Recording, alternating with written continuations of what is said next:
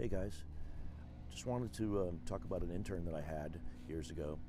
Uh, he was from Japan and he was here to try out for the Tampa Bay Devil Rays, but that didn't work out.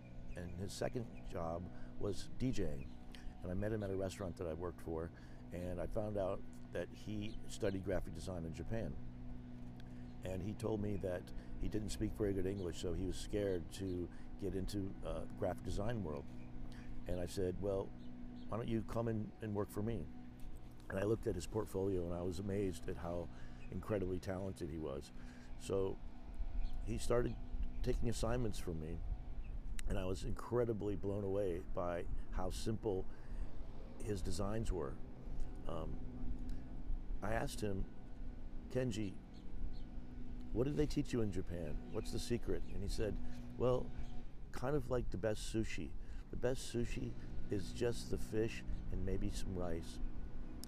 Uh, not all the rolls and uh, tempura and all that. He said that's what I learned at design was to learn how to remove elements and not add elements.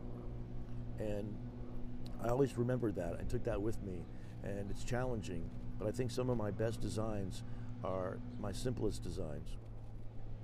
And uh, Kenji went on to work for Disney. He now is a creative director for Disney Animation, and I'm very proud of him um, and his family.